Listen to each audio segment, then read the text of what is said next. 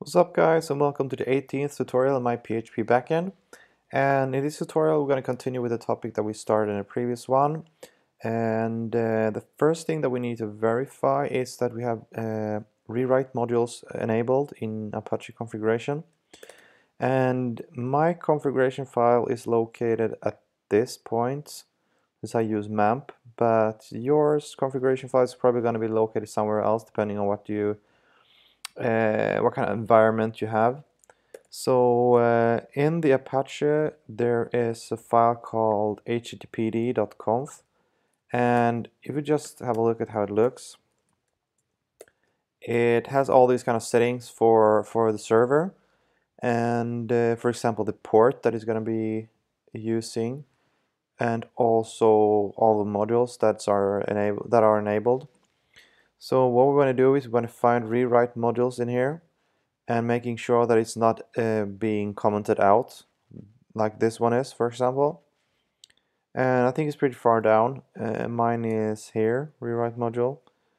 And of course you can just use uh, grep if you want to find it uh, immediately and just making sure that it's not commented out.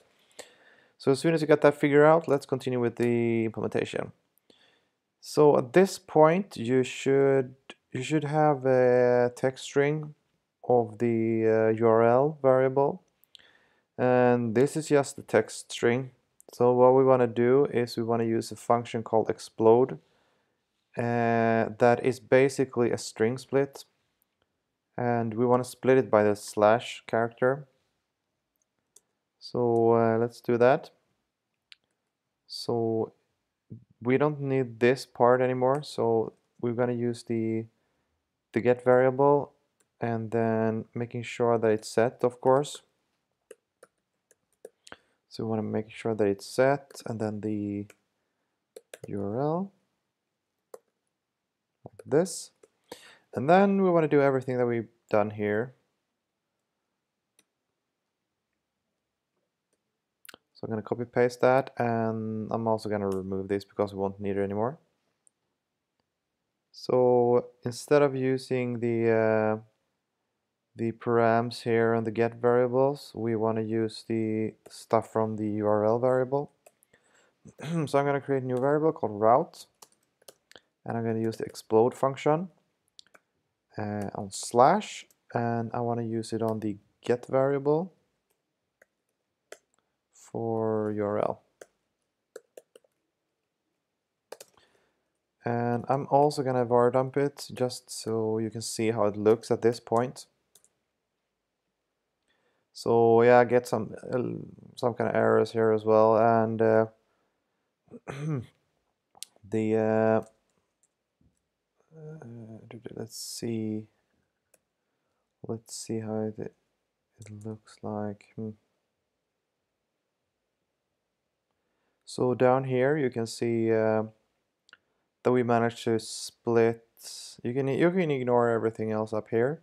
So if you just look at this row down here, you see that the zeroth index it has the controller name, and the first index it has the action name, and then the second index has the for value. So I have like separated all these into different indexes in the array.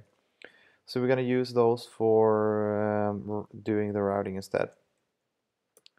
So now we don't need, actually we don't need any of this anymore.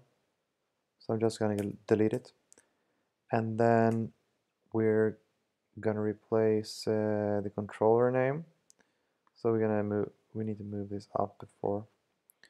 And then we're going to use the zeroth index in here like this, which will be the controller name.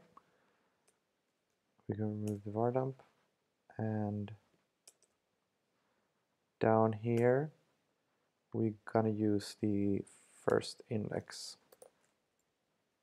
which will be the uh, the action name.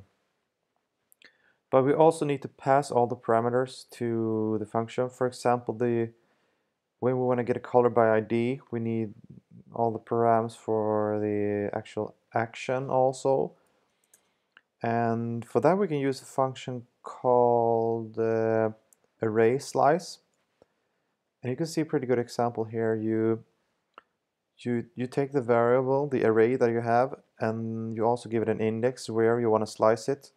So if I give it the if I give it a two, it'll slice it on the second index. So it'll be this subarray that will be returned to me.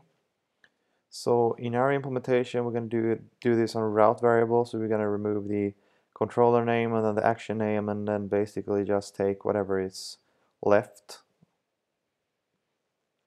So I'm going to call the call the params, and then I'm going to give it the array, which is the route, and then a 2 for the second index. And it's getting passed here to, to the functions. So just save everything and try to see if it works. Alright, so it seems to be working. I get a color red. We can try try another one, see if we get another color, and we do. So the only thing we have to do is remove all, all the stuff that we, we're echoing out. Alright, so it works. So as you can see, we managed to get a little bit nicer routes and also managed to deal with parameters and stuff. And also we managed to separate everything into atomic components uh, or variables, I should say. So at this point we can build any kind of routing that we want because currently we only have we only have the most basic routing we could just to make it understandable so you can follow along. But you can imagine how you can use pattern matching for mapping of controller name and action name and parameters to a action that we want to run in a controller uh, in a controller instance. So you can think a little about a bit about that and, and the pros and cons of different different uh, matching that you can you can do to make it uh, have a good interface for the consumer of the API. And I hope you guys liked it and I'll see you on the next tutorial.